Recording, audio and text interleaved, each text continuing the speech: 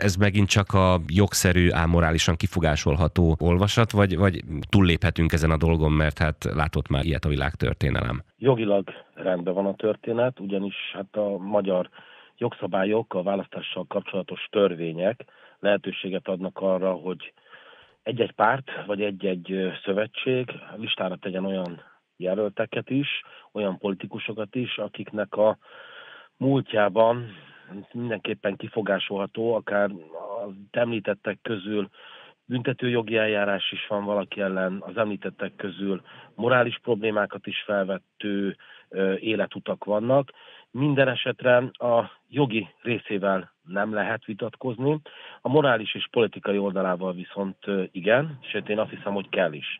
Mégiscsak arról a parlamentről van szó, ahol valamikor Deák Ferencék tartották a beszédeiket, és hát most azt látjuk, hogy Jakab Péter krumplit vízbe, tehát ha, ha a kettő plastikus képet összehasonlítjuk, akkor szerintem érzékeljük a politikai kultúrának a, az elmúlt 150 évben való romlását, de nem kell ennyire messzire menni. Ha csak a rendszerváltoztatás utáni parlamenteket is nézzük, akkor azt kell mondanom, hogy amikor a a, hát mondjuk morálisan megkérdőjelezhető, de mégiscsak filozófiával, filozófiai diplomával rendelkező Lendvai Ildikó vitatkozott azokkal az SZDSZ-esekkel és azokkal az MDF-esekkel, akik szintén magas végzettséggel, magas vitakultúrával, műveltséggel rendelkeztek, akkor megint csak felmerül az a kérdés, hogy valóban a politikai kultúra romlása az egyenes arányban romlott a parlamenti patkóban helyet foglaló képviselőknek az ügyes bajos visel dolgaival. És valóban igaz az, hogyha ezeken a neveken át, vagy végig megyünk, akkor egyrésztről azt állapíthatjuk meg, hogy nem volt ellenzékváltás, tehát továbbra is következmények nélküli a baloldal. Olyan emberek kerülhettek be a parlamentben, akik már egyszer vagy többször megbuktak.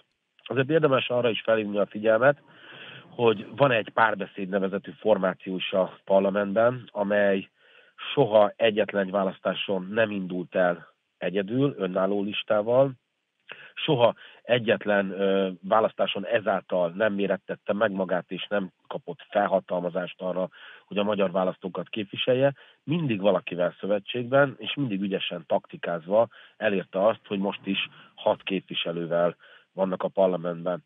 A másik fontos dolog, amire még szerintem érdemes itt felhívni a figyelmet amellett, hogy következmények nélküli a baloldal, hogy mindenképpen látszik az is, hogy ez a jövőben mutató kérdéseket, vagy a jövővel kapcsolatos kérdéseket is felveti, hisz arról beszéltek most az ellenzéki oldalon, hogy újjá kell szervezni a baloldalt, ennek többféle útja, módja lehet. Gyurcsány Ferenc nyilvánvalóan ebben főszerepet szeretne vállalni, Márkizaj Pétert ebben nem szeretnék látni, nagy kérdés, hogy a Jobbikot szeretnék ebbe látni.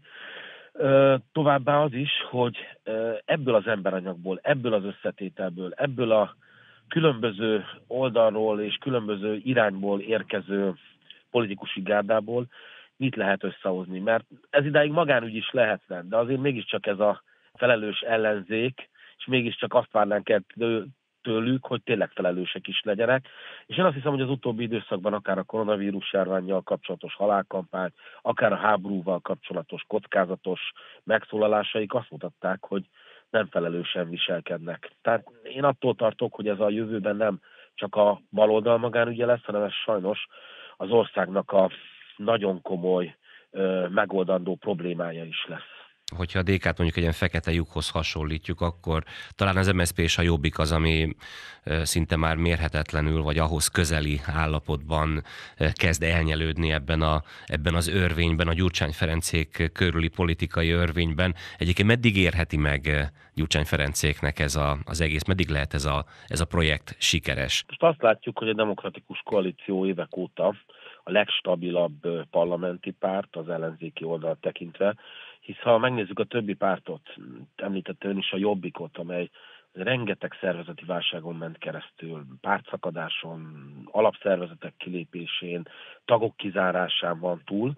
Ezen kívül, hogyha megnézzük az MSZP-t, amely permanens válságba került, és valóban úgy tűnik, hogy egyre inkább eltűnik a politikai palettáról, és hát Tóth Bertalan volt az, aki egyébként a hétvégén bejelentette, hogy ő nem indul újra a az elnöki pozíciójáért, bár én nem igazán értettem, vagy éreztem ebben a felelősségnek a teljes vállalását. Mert... Bocsánat, ő volt az, aki rögtön a választások után azt mondta, hogy esze ágában sincs lemondani. Igen, igen, igen, és most sem azt mondta, hogy azonnali hatállyal lemond, vagy felajánlja lemondását. Pusztán annyit mondott, hogy nem indul, sőt, hozzátette, hogy ő a további politikai karrierjét a parlamenti frakcióban képzeli el. Tehát én azt hiszem, hogyha ennek a történetét, vagy a, a jövőbeli képét nézzük, akkor ez azért nem olyasmi felelősségvállalás, mint mondjuk Vona Gábor tett 2018-ban, aki nem is vette fel a mandátumát, és azonnali hatállyal lemondott.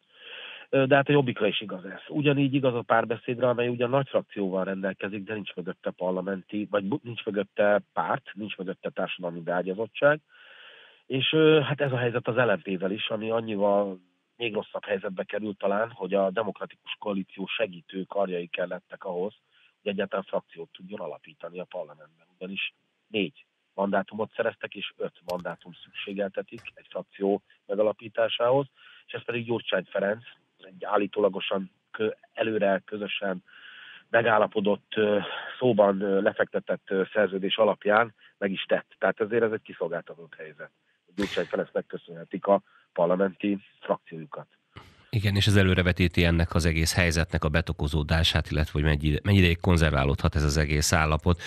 Hogyha már az MSZP-nél tartottunk, szokatlanul kendőzetlen formában adta tudtára közvéleménynek Unhalmi Ágnes, hogy hát nem kellett volna hallgatni az amerikai tanácsadókra, például az ukrajnai háború megítélésében, tehát a folyamatos orosz ellenes hergelést találta talán károsnak Kunhalmi Ágnes.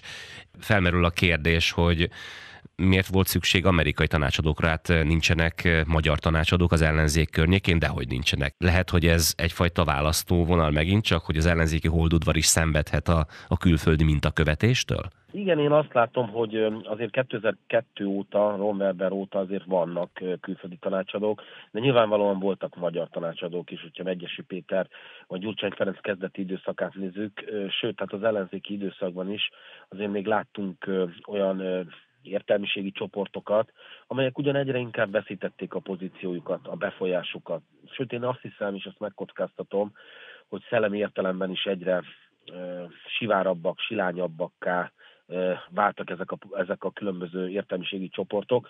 Ennek több oka is van, nyilván ezt most nem tudjuk ilyen rövid idő alatt feltárni, de azért egy generáció már eltávozott közülük, az új generáció pedig hát az ő szocializációjuk, az ő tanultságuk nem hasonlítható össze azokkal az értelmiségiekkel, akik mondjuk a 90-es években az SZDSZ környékén voltak.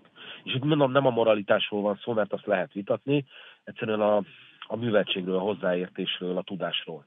És én azt hiszem, hogy igen, volt kontraszelekció a balliberális értelmiség körében is, tehát ott is olyan ö, gondolkodók, olyan akár újságírók, megmondó emberek választottak ki, vagy kerültek vezető pozícióba, akik nem, nem, nem nagyon tettek olyan teljesítményt le az asztalra, mint amin például a jobb oldalon kellett. Most gondoljuk csak végig, hogy a jobb oldalon mi kell ahhoz, hogy valaki vezető értelmiségi legyen, színházvezető legyen, kultúravezető legyen, politikai pozíciókat érjen el, komoly teljesítmény szükségeltetett. A bal oldalon elég volt egy tüntetésre kiállni, és egy tüntetésen káromkodni, vagy egy tüntetésen olyat mondani, amire felfigyelt a sajtó, majd az értelmiség és nagyon rossz visszajelzést adott. Ez szerintem egy olyan kiválasztódást okozott, ami hát színvonalbeli romlást hozott. És Kuhalmi Ágnes elszólása nagyon fontos. Én azt hiszem, hogy az, amiről beszéltünk, és amit mindig tagadtak, hogy itt valóban amerikai befolyás lenne, az most ezzel ez a, ez a vita lezárult, és ezzel ez szerintem egyértelműen kiderült. Tehát jól érezhető az ellenzéki oldalon az Egyesült Államok demokrata pártjának és a soros szervezeteknek a befolyása, sőt most már el is ismerték azt, hogy részt vettek a kampányba ezek a csoportok. Ritkán szoktuk Puzsé Robertet idézni itt a hangolóban, most mégis megteszem, mert a magyar hangban megjelent írásában úgy elemezte a most kialakult helyzetet az ellenzéki oldalon, hogy idézem, hat romlott, hazug és semmire kellő párt túlszulejtette az ellenzéki politikát. Ha a balliberális értelmiség képes, felé, képes felépíteni ezekkel és az Orbán rendszerrel szemben egy új szervezetet, valamennyire alkol, alkalmas állományjal, akkor kihívhatja a Fideszt, előbb nem. Erre reagált egyébként Schiffer András, akinek a szavaira azért szeretünk odafigyelni. Ő azt mondta, kedves Robi, mi lenne, ha előbb a balliberális értelmiséget felejtenénk el végre, mint kifejezést? Valóban is össze is cseng azzal, amit előbb nagyon röviden vázoltam. Tehát maga a balliberális értelmiség szerintem egy trónfosztáson van túl. Azért a posztkommunizmusban ők mindenféle kegyelt és mindenféle előnyben részesített, a múltból eredő különböző előnyöket élvező csoportok voltak, tehát most gondolok arra, hogy az SZDSZ összeállt az MSZP-vel, és az MSZP környékén lévő kulturális, médiális háttér, az összefogva a liberális értelmiséggel azért egy elég erős hegemóniát alkotott.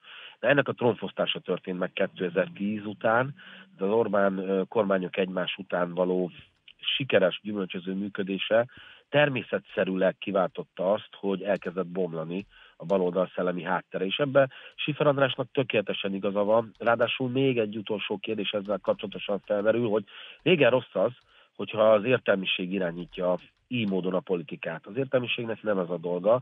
Az értelmiségnek az a dolga, hogy szellemi munkát végezzen, és a szellemi munkával segítse, kritizálja, erősítse, vagy figyelmeztesse, attól függ, hogy mit gondol egy politikai közösségről. Nem pedig az, hogy kitalálja a politikát. Ráadásul, hogyha egy ilyen elitről beszélünk, egy ilyen értelmiségi elitről, vagy holdudvarról, ami, hogyha belegondolunk, azért a jobbik környezetében sosem volt, a, a, a, a különböző liberális pártoknál elfogyott, az MSZP esetében sajnos már egy generáció eltávozott közülük, és hát itt van a Momentum, ami hozhatna egy újítást, de nem látjuk ennek még csak a, a nyomát sem, sőt, ha megnézzük a Momentumnak a politikai mondani valóját, hát finoman szólva is hiányzik belőle a, a tudás, a műveltség, a klasszikus műveltségnek még csak az írmagja sem is. Úgyhogy nem túl rózsás a jövője az ellenzéknek, az biztos. A politikai generáció, az, ami következik, az nem mutatja egyelőre azt a képét, hogy alkalmas lenne egy frissítésre, újításra. És hát mintha fordítva ülnének a lovon, és Siffer András erre hívta fel a figyelmet, ne az értelmiség találja ki, hogy kik legyenek a politikusok. Ugye ez volt ilyen egyébként a, a bal oldalon, a liberális oldalon még a 90-es években, hanem ez fordítva történjen, a politikai teljesítmény választa ki a politikusokat, és az értelmiség pedig egyfajta szellemi háttérként segítse, kritizálja, erősítse, építse a közös politikai közösséget.